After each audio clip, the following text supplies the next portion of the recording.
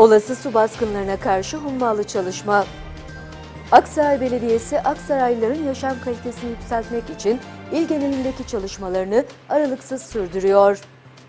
Şiddetli yağışların neden olabileceği su baskınlarına karşı yağmur suyu şebekelerinde büyük bir değişime imza atıyor.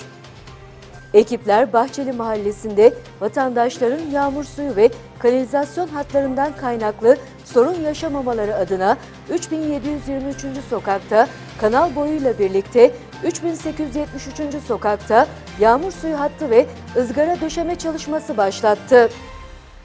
Çekilen yağmur suyu hatları ve ızgaraları sayesinde hatlarda tıkanmaların engellenmesinin yanı sıra yol tahribatlarının da önüne geçilmiş olacak.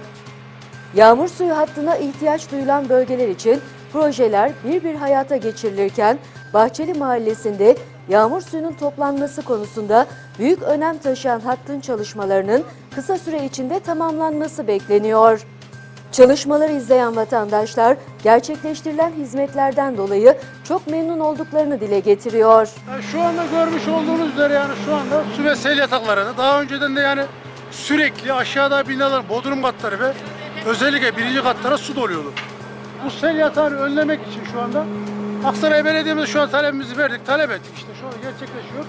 Yani ızgara döşüyoruz şu an su ve sel yataklarına karşı. Ee, bu çok büyük bir güzel bir yani ufak görüküyor ama güzel bir proje yani. Sağ olsun başkanımızın da Hısı Başkanım, Enver Dişer Başkanım burada çok çok teşekkür ediyorum.